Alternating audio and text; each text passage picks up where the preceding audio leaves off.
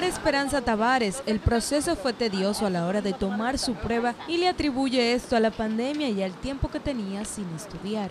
Pesado. ¿Por qué? Porque las pruebas estaban difíciles, las preguntas. Estaban difíciles. Estaban difíciles y eran muchas, más que la de ayer, lengua española. Tenía tan- muchísimo que no estudiaba. A pesar de las dificultades que se puedan presentar a la hora de tomar los exámenes, los estudiantes aseguran no perder la expectativa con los resultados ya que el tiempo brindado para responder sus preguntas fue justo y preciso para el buen entendimiento de las mismas. lo suficientemente necesario, que nos dieron dos horas. Dos horas uno tiene tiempo de analizar, leer la pregunta. Seguimos en el proceso de prepararnos para lograr el objetivo que es pasar estos exámenes.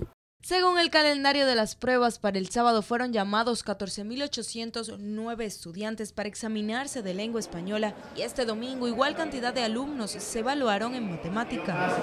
Han sido convocados 521 estudiantes y se han presentado aproximadamente el 90% de los estudiantes programados que se supone deben estar. De la Cruz, como director del Distrito Educativo 1502, asegura el proceso ha sido eficaz desde el punto de vista docente. Además, asegura adultos evaluados salen confiados del examen, pese a los dos años que no estuvieron tomando estas pruebas por la pandemia del COVID-19. Ha fluido de manera particularmente bien. Creemos, por la percepción que tenemos al ver la reacción de los estudiantes, que es una necesidad.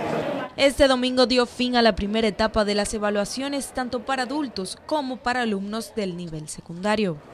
El próximo fin de semana continuarán los exámenes para adultos, pautado para el sábado 24 de julio Ciencias Sociales y culminando el domingo 24 con Ciencias Naturales. Ana Paula González, Noticias SN.